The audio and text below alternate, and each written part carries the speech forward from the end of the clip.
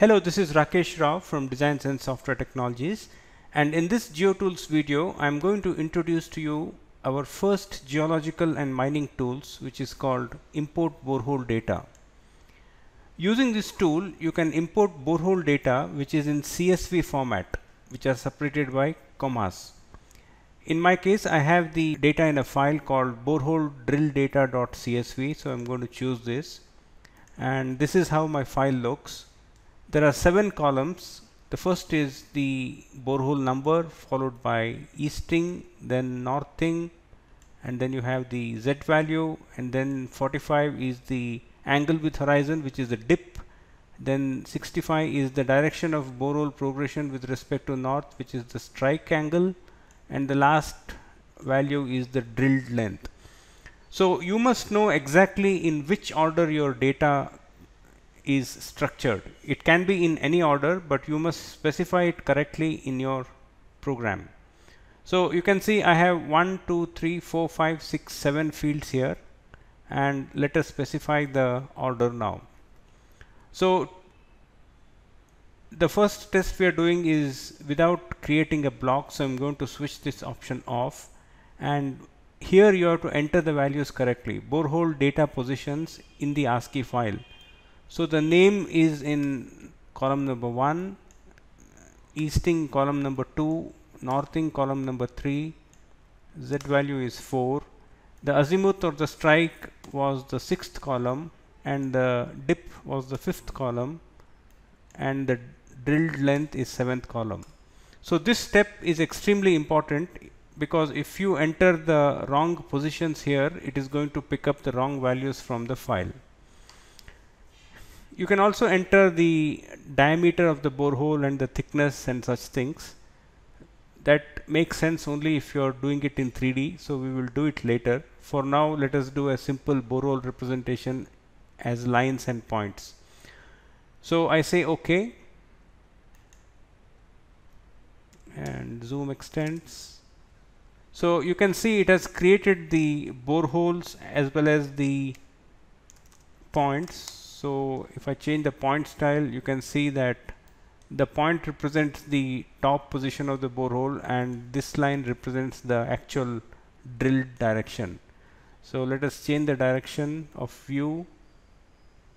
So I hope you get an idea now as where the top of the borehole is and the drilled positions are. So let's go back to plan view and to get a better visualization I'm going to now connect all these with the triangulated face. So I'm just going to quickly run the tin command from the civil tools. And I'm going to select all the points. So it has connected all of them with the uh, 3D faces. And if you now change the view style to realistic so you get an even better visualization of where your boreholes are and where the drill directions are. So this is one simple workflow by which I have created just a simple borehole without any blocks, without any attributes and so on. So let's delete all of this and restart once again.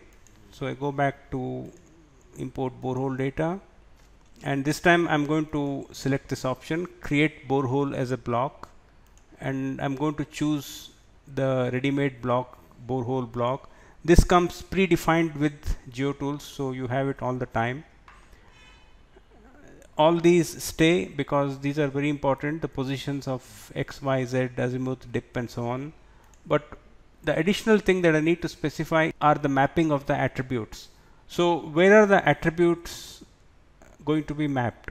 So for name, I'm going to choose name as the attribute. For easting, I'm going to choose X as the attribute. For northing, it's Y. For Z, it's Z. For azimuth or strike, it's this one. For the dip angle, it's dip.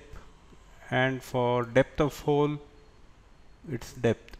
So this is where you map the attributes. Again you have to be careful to map it correctly because then you're going to get the wrong set of data. You can see that there are more uh, options to map the attributes here and it says mapping of remaining attributes. Why this is provided is because let us say you have additional uh, information about your boreholes like your quality of the ore or the year in which it was drilled and so on. So you can specify all those additional attributes by choosing the attribute number here and then choosing the respective you know attribute for this one as well. So in my case I don't have any more attributes I'm just going to leave all of this blank you can put them in a different layer if you like so I'm going to just say borehole data as a layer you can also create the boreholes in 3D so let us select that option to see how it looks in 3D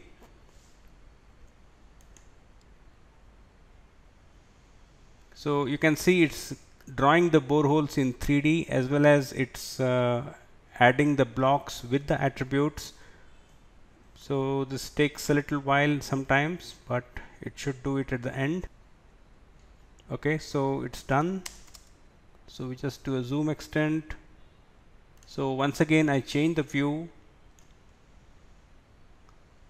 So you can see now uh, let's go back to plan view. You can see the boreholes have been inserted as a block and you can see the attributes as well.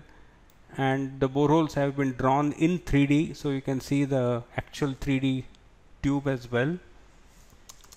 If you don't like to see the attributes I can quickly use the at disp off command and switch off the attributes.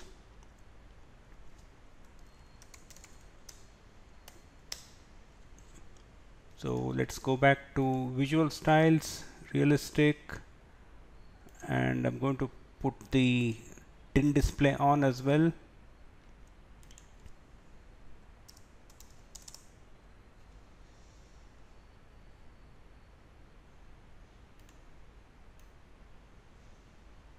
so that's more realistic now uh, if you want to create some you know presentation drawings and all that. So you have the bore boreholes in 3D you have the terrain created as tin and you also have all the attributes of the boreholes so you can do further processing as you like. So this is only the beginning. Uh, we intend to grow this command and add a lot of uh, new things so I really appreciate if you can give me your feedback get in touch with me let us know what more you want and we'll be glad to assist you and add them into our commands in fact, we already have uh, many other things planned and I'm going to show that in another video. For example, you can add a strata definition file and you can define your strata presentation parameters and you can show the cross section of the boreholes and so on. So all that in another video. But for now, I hope you enjoyed this video. Thank you.